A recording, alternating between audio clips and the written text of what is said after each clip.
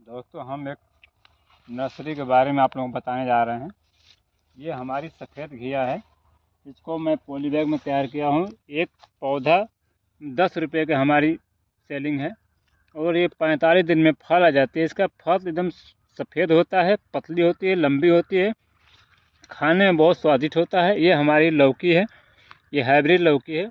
ये भी पैंतालीस से पचास दिन में फल दे देती है। एक एक फल इसका पतला होता है, बेलनाकार होता है और बहुत अच्छी फल देती है। ये हमारी हरा घिया है। ये भी पतली और लंबी होती है। ये भी पैंतालीस से पचास में फल आ जाती है।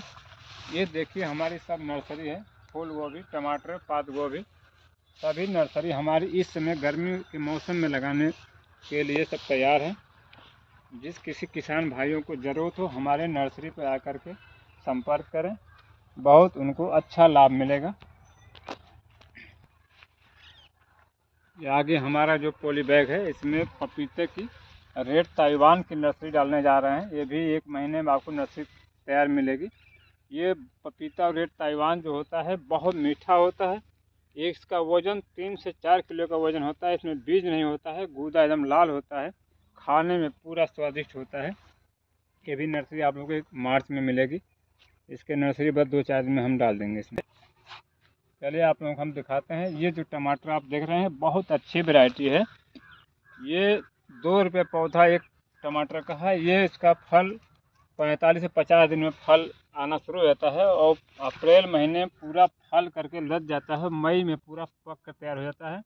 जिस समय लगन शुरू होते हैं, उस समय टमाटर हमारा तीस से चालीस रुपये किलो प्रति किलो के रेट से बिकता है लगन में, शादी ब्याह में। जिस किसी किसान भाई को ज़रूरत हो, हमारे नर्सरी में संपर्क करें।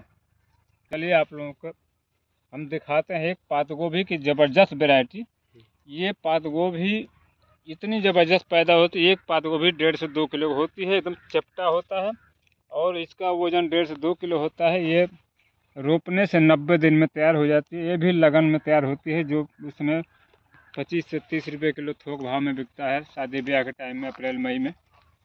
ये भी जिस किसान भाई को ज़रूरत हो मैं नर्सरी में आकर संपर्क करके ये एक रुपया पौधा के रेट से मैं बेचता हूँ।